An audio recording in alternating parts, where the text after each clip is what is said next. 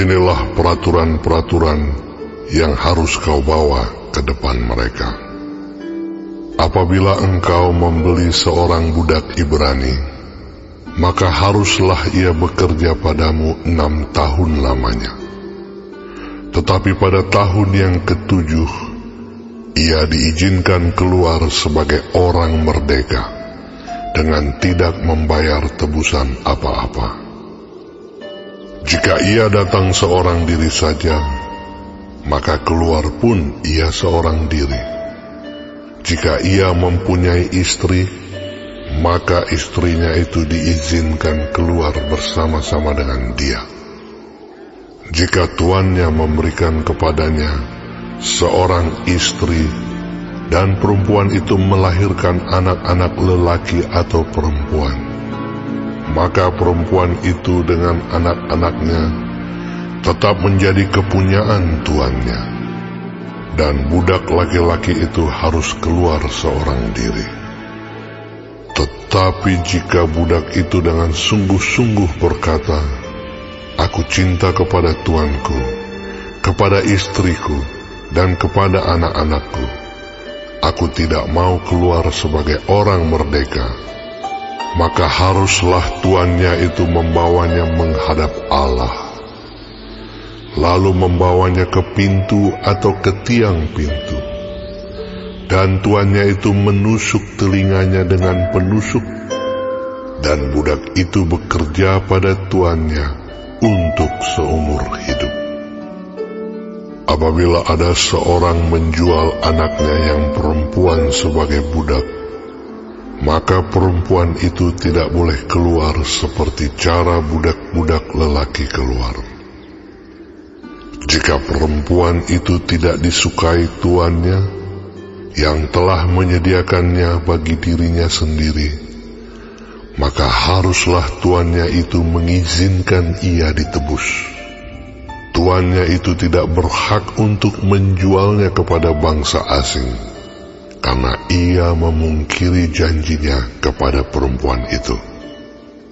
Jika tuannya itu menyediakannya bagi anaknya laki-laki, maka haruslah tuannya itu memperlakukannya seperti anak-anak perempuan berhak diperlakukan. Jika tuannya itu mengambil perempuan lain, ia tidak boleh mengurangi makanan perempuan itu, pakaiannya, dan persetubuhan dengan dia.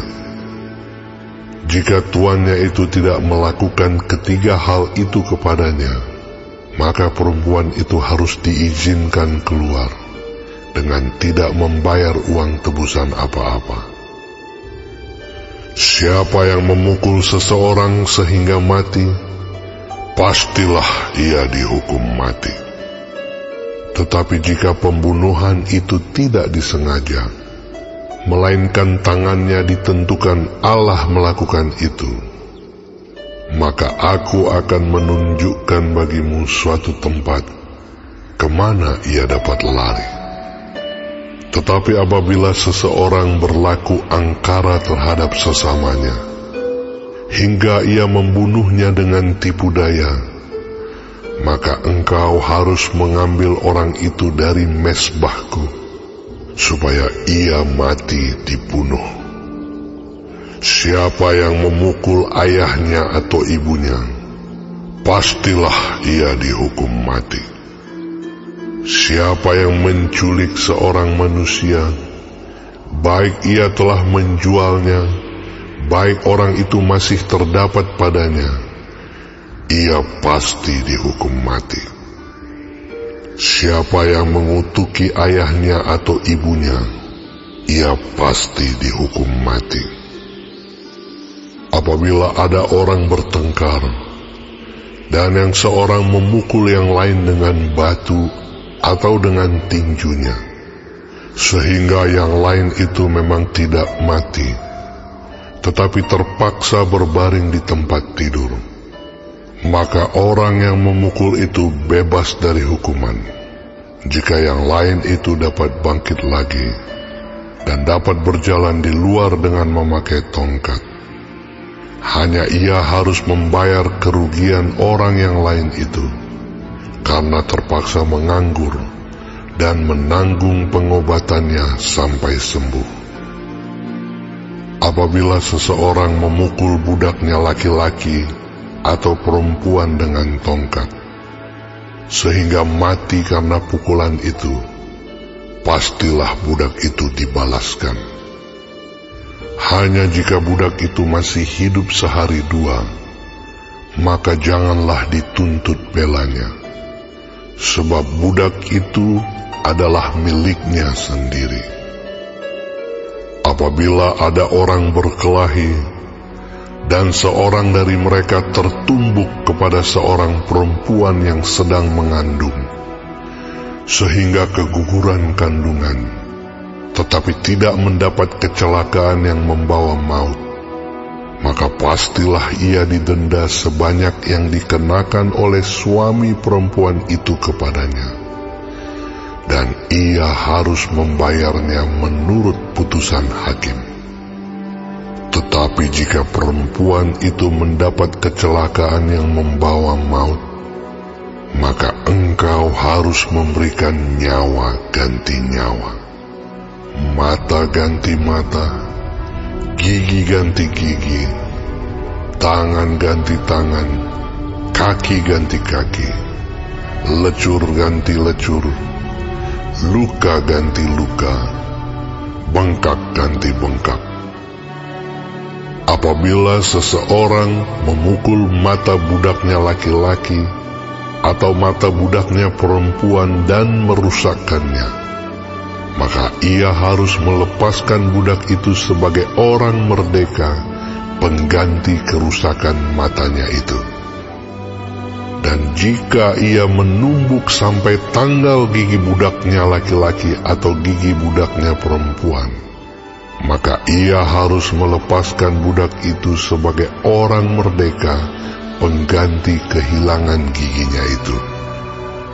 Apabila seekor lembu menanduk seorang laki-laki atau perempuan sehingga mati, maka pastilah lembu itu dilempari mati dengan batu, dan dagingnya tidak boleh dimakan.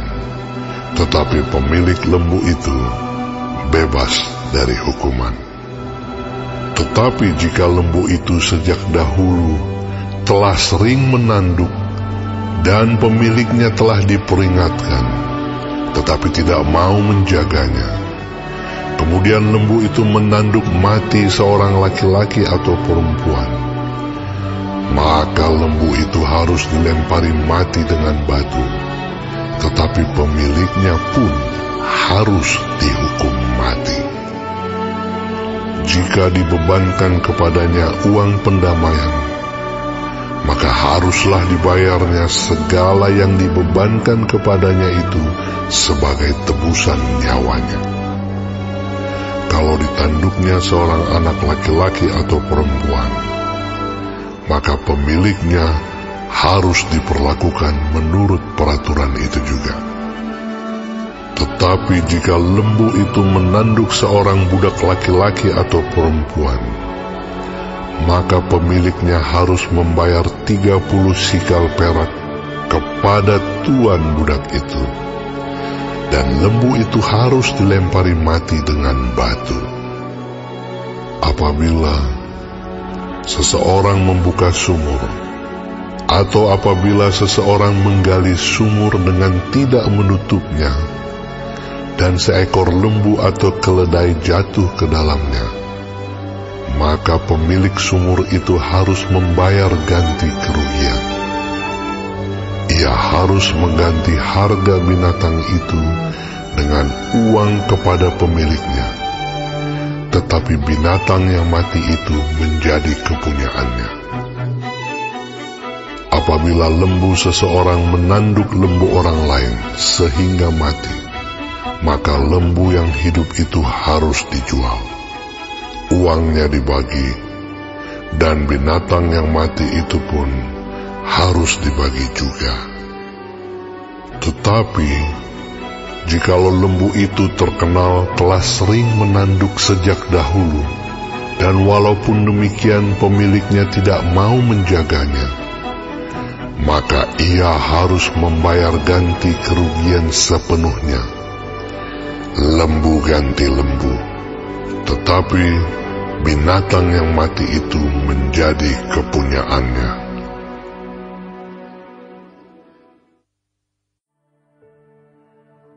Jiwaku melekat kepada debu. Hidupkanlah aku sesuai dengan firman-Mu. Jalan-jalan hidupku telah aku ceritakan dan engkau menjawab aku. Ajarkanlah ketetapan-ketetapanmu kepadaku buatlah aku mengerti petunjuk titah-titahmu, supaya aku merenungkan perbuatan-perbuatanmu yang ajaib. Jiwaku menangis karena duka hati. Teguhkanlah aku sesuai dengan firmanmu. Jauhkanlah jalan dusta daripadaku dan karuniakanlah aku Tauratmu. Aku telah memilih jalan kebenaran, telah menempatkan hukum-hukummu di hadapanku. Aku telah berpaut pada peringatan-peringatanmu ya Tuhan. Janganlah membuat aku malu aku akan mengikuti petunjuk perintah-perintahmu. Sebab engkau melapangkan hatiku. Perlihatkanlah kepadaku, ya Tuhan, petunjuk ketetapan-ketetapanmu. Aku hendak memegangnya sampai saat terakhir buatlah aku mengerti, maka aku akan memegang Tauratmu. Aku hendak memeliharanya dengan segenap hati. Biarlah aku hidup menurut petunjuk perintah-perintahmu, sebab aku menyukainya. Condongkanlah hatiku kepada peringatan-peringatanmu dan jangan kepada laba. Lalukanlah mataku daripada melihat hal yang hampa. Hidupkanlah aku dengan jalan-jalan yang kau tunjukkan. Teguhkanlah pada hambamu ini janjimu yang berlaku bagi orang yang takut kepadamu. Lalukanlah celahku yang menggetarkan aku, karena hukum-hukummu adalah baik. Sesungguhnya aku rindu kepada titah-titahmu. Hidupkanlah aku dengan keadilanmu. Kiranya kasih setiamu mendatangi aku ya Tuhan keselamatan daripadamu itu sesuai dengan janjimu. Supaya aku dapat memberi jawab kepada orang yang mencela aku. Sebab aku percaya kepada firmanmu. Janganlah sekali-kali mencabut firman kebenaran dari mulutku. Sebab aku berharap kepada hukum-hukummu Aku hendak berpegang pada Tauratmu senantiasa untuk seterusnya dan selamanya. Aku hendak hidup dalam kelegaan sebab aku mencari titah-titahmu. Aku hendak berbicara tentang peringatan-peringatanmu di hadapan raja-raja. Dan aku tidak akan mendapat malu Aku hendak bergemar dalam perintah-perintahmu yang kucintai itu. Aku menaikkan tanganku kepada perintah-perintahmu yang kucintai, dan aku hendak merenungkan ketetapan-ketetapanmu. Ingatlah firman yang kau katakan kepada hambamu. Oleh karena engkau telah membuat aku berharap.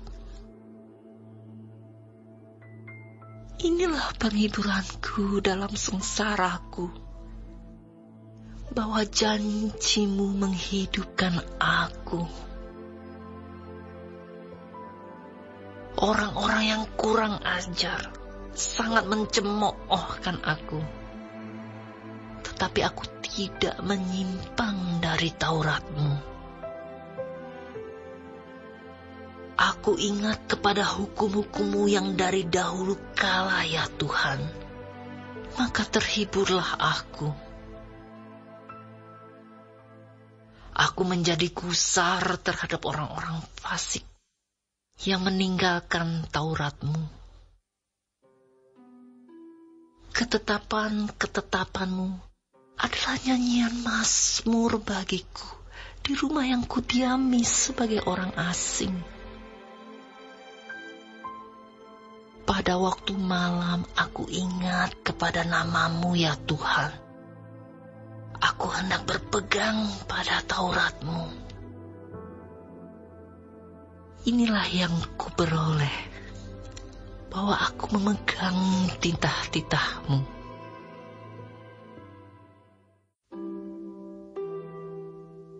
Amsal-amsal Salomo Anak yang bijak mendatangkan sukacita kepada ayahnya, tetapi anak yang bebal adalah kedukaan bagi ibunya.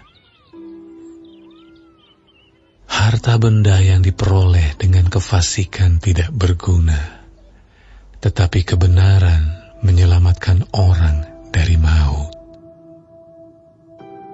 Tuhan tidak membiarkan orang benar menderita kelaparan, tetapi keinginan orang fasik ditolaknya. Tangan yang lamban membuat miskin, tetapi tangan orang rajin menjadikan kaya. Siapa mengumpulkan pada musim panas, ia berakal budi. Siapa tidur pada waktu panen membuat malu.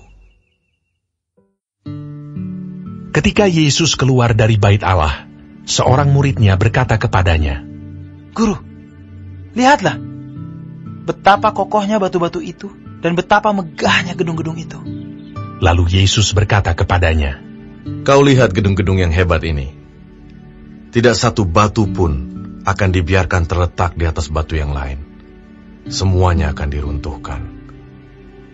Ketika Yesus duduk di atas bukit Zaitun berhadapan dengan bait Allah, Petrus, Yakobus, Yohanes, dan Andreas bertanya sendirian kepadanya, Katakanlah kepada kami, bila manakah itu akan terjadi? Dan apakah tandanya kalau semuanya itu akan sampai kepada kesudahannya? Maka mulailah Yesus berkata kepada mereka, Waspadalah supaya jangan ada orang yang menyesatkan kamu akan datang banyak orang dengan memakai namaku dan berkata, Akulah dia. Dan mereka akan menyesatkan banyak orang. Dan apabila kamu mendengar deru perang atau kabar-kabar tentang perang, janganlah kamu gelisah. Semuanya itu harus terjadi, tetapi itu belum kesudahannya. Sebab bangsa akan bangkit melawan bangsa, dan kerajaan melawan kerajaan. Akan terjadi gempa bumi di berbagai tempat, dan akan ada kelaparan. Semua itu barulah permulaan penderitaan menjelang zaman baru. Tetapi kamu ini, hati-hatilah. Kamu akan diserahkan kepada majelis agama, dan kamu akan dipukul di rumah ibadat, dan kamu akan dihadapkan ke muka penguasa-penguasa dan raja-raja karena aku, sebagai kesaksian bagi mereka. Tetapi Injil harus diberitakan dahulu kepada semua bangsa. Dan jika kamu digiring dan diserahkan, Janganlah kamu khawatir akan apa yang harus kamu katakan, tetapi katakanlah apa yang dikaruniakan kepadamu pada saat itu juga. Sebab bukan kamu yang berkata-kata, melainkan roh kudus. Seorang saudara akan menyerahkan saudaranya untuk dibunuh. Demikian juga seorang ayah terhadap anaknya. Dan anak-anak akan memberontak terhadap orang tuanya dan akan membunuh mereka kamu akan dibenci semua orang oleh karena namaku. Tetapi orang yang bertahan sampai pada kesudahannya, ia akan selamat. Apabila kamu melihat pembinasa keji berdiri di tempat yang tidak sepatutnya, para pembaca hendaklah memperhatikannya.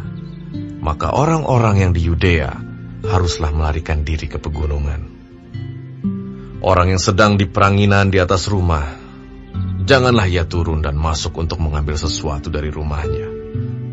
Dan orang yang sedang di ladang, janganlah ia kembali untuk mengambil pakaiannya. Celakalah ibu-ibu yang sedang hamil atau yang menyusukan bayi pada masa itu. Berdoalah supaya semuanya itu jangan terjadi pada musim dingin. Sebab pada masa itu akan terjadi siksaan seperti yang belum pernah terjadi sejak awal dunia yang diciptakan Allah sampai sekarang dan yang tidak akan terjadi lagi. Dan sekiranya Tuhan tidak mempersingkat waktunya, maka dari segala yang hidup tidak akan ada yang selamat. Akan tetapi, oleh karena orang-orang pilihan yang telah dipilihnya, Tuhan mempersingkat waktunya. Pada waktu itu, jika orang berkata kepada kamu, "Lihat, Mesias ada di sini," atau "Lihat, Mesias ada di sana," jangan kamu percaya. Sebab Mesias-Mesias palsu dan nabi-nabi palsu akan muncul dan mereka akan mengadakan tanda-tanda dan mujizat-mujizat dengan maksud sekiranya mungkin menyesatkan orang-orang pilihan. Hati-hatilah kamu. Aku sudah terlebih dahulu mengatakan semuanya ini kepada kamu. Tetapi pada masa itu, sesudah siksaan itu, matahari akan menjadi gelap dan bulan tidak bercahaya dan bintang-bintang akan berjatuhan dari langit, dan kuasa-kuasa langit akan goncang. Pada waktu itu, orang akan melihat anak manusia datang dalam awan-awan, dengan segala kekuasaan dan kemuliaannya. Dan pada waktu itu pun, ia akan menyuruh keluar malaikat-malaikatnya, dan akan mengumpulkan orang-orang pilihannya dari keempat penjuru bumi, dari ujung bumi sampai ke ujung langit Tariklah pelajaran dari perumpamaan tentang pohon ara. Apabila ranting-rantingnya melembut dan mulai bertunas, kamu tahu bahwa musim panas sudah dekat. Demikian juga jika kamu lihat hal-hal itu terjadi. Ketahuilah bahwa waktunya sudah dekat, sudah diambang pintu. Aku berkata kepadamu, sesungguhnya angkatan ini tidak akan berlalu sebelum semuanya itu terjadi. Langit dan bumi akan berlalu, tetapi perkataanku tidak akan berlalu. Tetapi tentang hari atau saat itu, tidak seorang pun yang tahu. Malaikat-malaikat di sorga tidak, dan anak pun tidak, hanya Bapa saja. Hati-hatilah dan berjaga-jagalah, sebab kamu tidak tahu bila manakah waktunya tiba. Dan halnya sama seperti seorang yang bepergian yang meninggalkan rumahnya dan menyerahkan tanggung jawab kepada hamba-hambanya, masing-masing dengan tugasnya, dan memerintahkan penunggu pintu supaya berjaga-jaga. Karena itu berjaga-jagalah, sebab kamu tidak tahu bila manakah tuan rumah itu pulang. Menjelang malam, atau tengah malam, atau larut malam, atau pagi-pagi buta. Supaya kalau ia tiba-tiba datang, jangan kamu didapatinya sedang tidur. Apa yang kukatakan kepada kamu, kukatakan kepada semua orang. Berjaga-jagalah.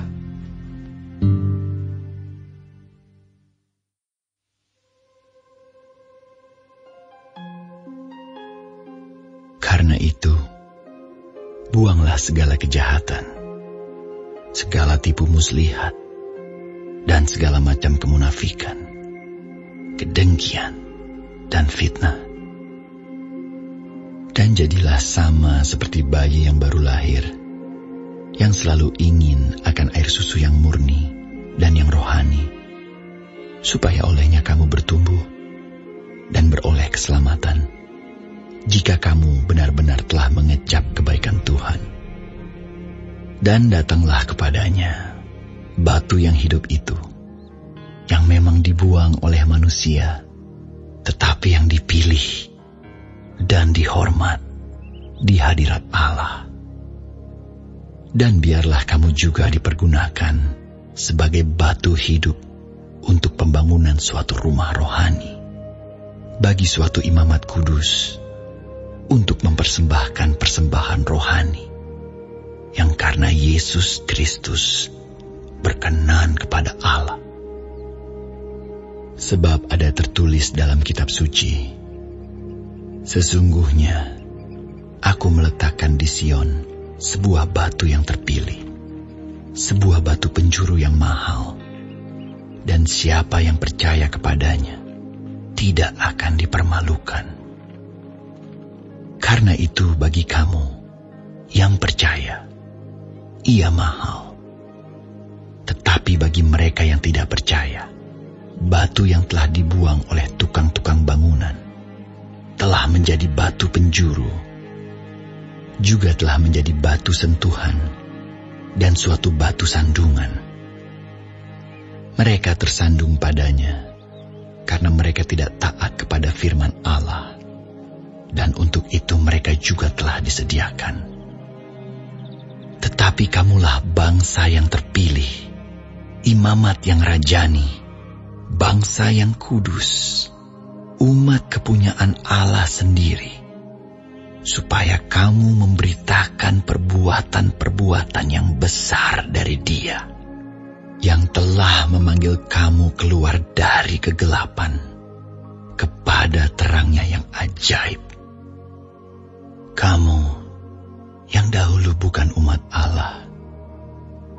tetapi yang sekarang telah menjadi umatnya. Yang dahulu tidak dikasihani, tetapi yang sekarang telah beroleh belas kasihan. Saudara-saudaraku yang kekasih, aku menasihati kamu supaya sebagai pendatang dan perantau, kamu menjauhkan diri dari keinginan-keinginan daging yang berjuang melawan jiwa.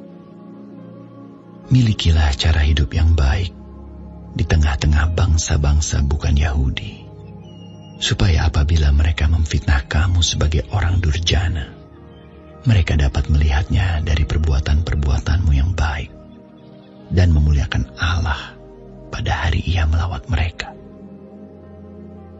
Tunduklah karena Allah kepada semua lembaga manusia, baik kepada raja sebagai pemegang kekuasaan yang tertinggi, maupun kepada wali-wali yang diutusnya untuk menghukum orang-orang yang berbuat jahat dan menghormati orang-orang yang berbuat baik.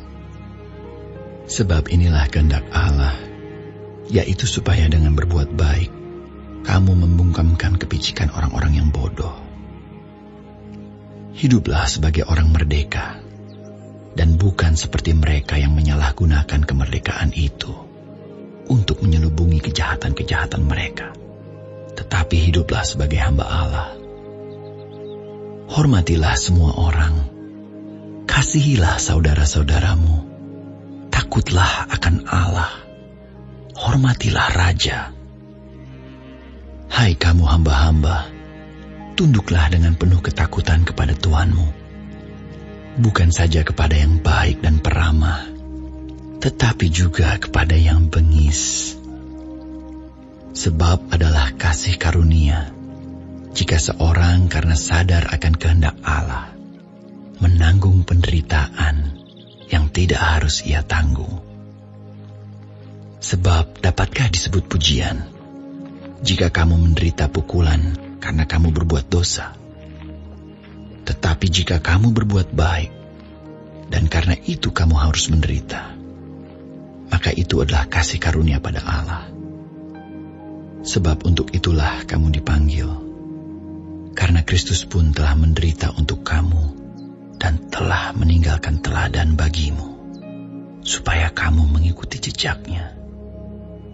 Ia tidak berbuat dosa, dan tipu tidak ada dalam mulutnya. Ketika ia dicaci maki, ia tidak membalas dengan mencaci maki. Ketika ia menderita, ia tidak mengancam, tetapi ia menyerahkannya kepada Dia yang menghakimi dengan adil. Ia sendiri telah memikul dosa kita di dalam tubuhnya di kayu salib, supaya kita yang telah mati terhadap dosa hidup untuk kebenaran. Oleh bilur-bilurnya kamu telah sembuh. Sebab dahulu kamu sesat seperti domba, tetapi sekarang kamu telah kembali kepada gembala dan pemelihara jiwamu.